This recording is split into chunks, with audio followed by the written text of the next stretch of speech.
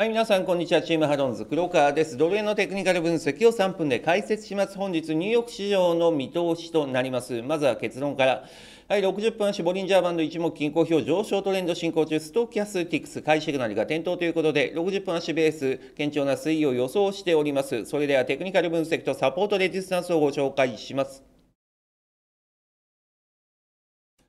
はい、60分足ボリンジャーバンド、トレンドの方向性を示す赤い点線、21時間移動平均線、緩やかな上昇傾向にあります。その中、ローソク足と言いますと、21時間移動平均線とプラスシグマラインの間に位置しております。60分足ボリンジャーバンド、上昇トレンド進行中ということです。はい、オシレーター系ストーキャスティックス、裏いすぎな判断基準であります20%ラインで買いシグナルが点灯ということです。はい、続きまして、60分足の一目均衡表です。はい、上からローソク足転換線、基準線、雲の順番。はい、典型的な上昇トレンドのパターンということです。さらには、この短期証の赤いラインの転換線がサポートラインとして現在ワークしております。で、これを抜け切ったら、まあ、あの売りが加速する可能性もありますが、その真下に基準線もありますので、この2つの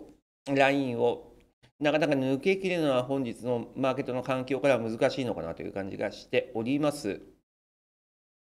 はい、それでは本日、ニューヨーク市場のサポートレジスタンスをご紹介したいと思います。まずはサポートラインです。130円の31レベル、130円の31レベル。これは何かと言いますと、はい、2時間足ボリンジャーバンド21本移動平均線レベルということです。続きまして、レジスタンスラインですね。はい、131円の20レベル、131円の20レベルということです。